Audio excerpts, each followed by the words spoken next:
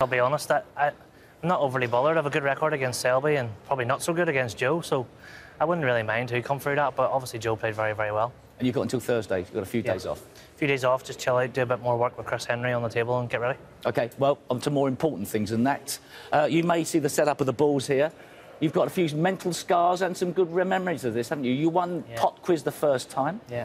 Last so year, good last year. Not so good last year. last year. Okay, you're the first person to try it this year. It's pot quiz. We've got some fantastic prizes this year. One-way trip to Mars. Best of 17. Best of 17 with Terry Griffiths, or a night out with me talking about my record collection. Choices are endless. The one-way trip to Mars sounds good. That's so cruel. OK, here's the questions, and I've had a previous look at these. These are tough. These are tough. No helping plea from the crowd, and there will be no help from me as quizmaster here. OK. First question. Every one of the, the questions you get right, you take a ball off. You then pot all the 15 reds, and then finish off potting the black. First question. You won your mas- your first Masters title this year, but who won the Masters the year you were born in 1986? Dennis Taylor, Cliff Thorburn. close. Yeah, close Someone old. Someone old. That's nice. Okay. Question two. Also in 1986, can you tell us what team became FA Cup champions that year? Some sort of joke.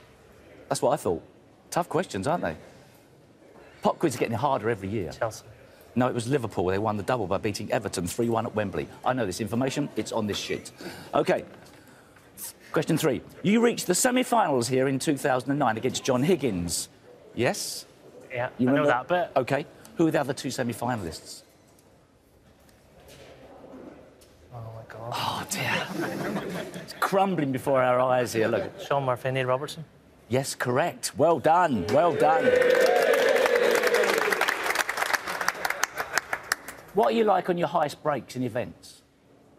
We'll find out in a minute. What was your highest break in last year's World Championship? Oh, It's a tough one. It's not sort of something you necessarily remember, is it? It was over 100. I'll give you a clue. It oh thanks. Uh, was in the second round. 136. 129. Rubbish. Okay, you got one red off the table so far. Fifth question. You get, you, you are only one of two players to make a 146 break at the Crucible. Graeme Dott. Correct. He's interrupted the question as well. Only because he stole half my prize money, that's what I remember. Round up was the other one. Okay, so Two. take two reds off the table and then you place the cue ball wherever you want on the table. I wouldn't have played that one. Would never. uh, yes, that's a good one as well. Okay, white ball wherever you want.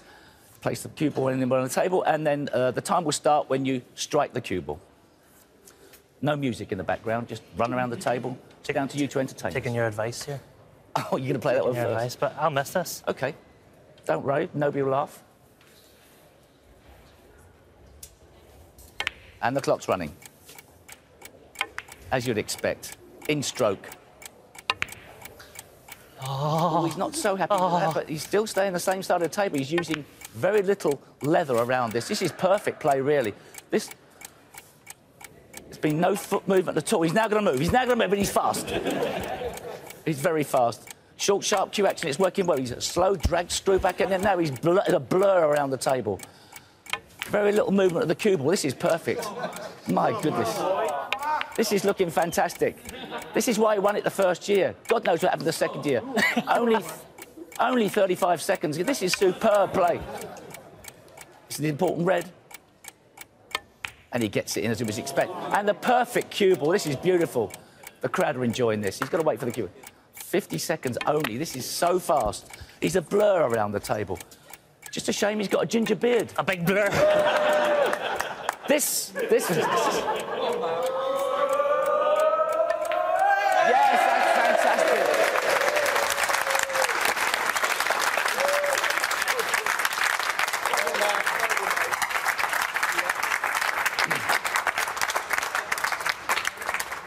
I've got to say, the bar has been set incredibly high for everybody else.